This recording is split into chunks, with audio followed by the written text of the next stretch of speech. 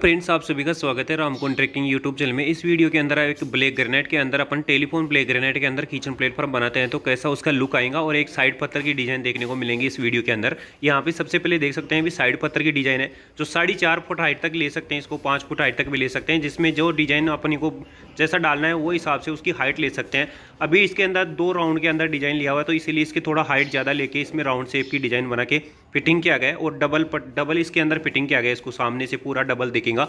और टोटल इसको फिर धार पोलिस किया हुआ है। इसमें दो सूद का डिज़ाइन पट्टी भी डाल सकते हैं, उसके बाद में सामने से जो दर्शन पट्टी रहती है वो देख सकते हैं इसको सामने से चिपकाई हुई है। इसको दोनों साइड से इसको हाफ़ राउंड मोल्डिंग करके और बाद में इसको सामने से फिटिंग किया गया है, जिससे क्या होता है, इसका सामने से जॉइंट नहीं दिखेगा बिल्कुल भी।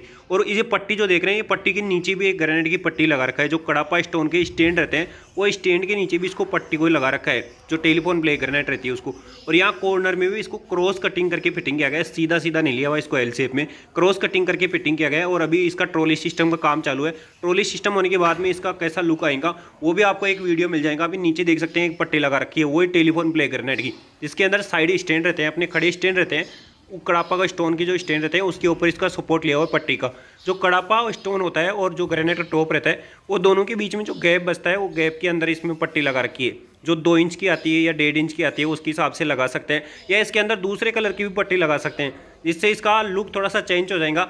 या इतना दिखने वाला एरिया नहीं है ये तो कोई भी पट्टी लगा सकते हैं इसके अंदर वेस्टेज कोई भी पट्टी लगा सकते हैं। और नीचे यहाँ कॉर्नर में इसमें सिलेंडर की जगह छोड़ रखी है। और ऊपर इसमें ग्रेनाइट के अंदर होल निकाल के फिटिंग किया गया अभी काफ़ी यहाँ सामान रखा हुआ है, इसीलिए दिख रहा नहीं आपको। और ऊपर इसमें दो बाई चार की टाइल लगा रखी है दीवार के अंदर। जो दो फुट हाइट तक लगा रखी है, एक विंडो आ जाती है इसके अंदर, सतवारी टाइप में जो टाइल्स आती है, दो बाई चार की, वो इसके अंदर फिटिंग किया गया है।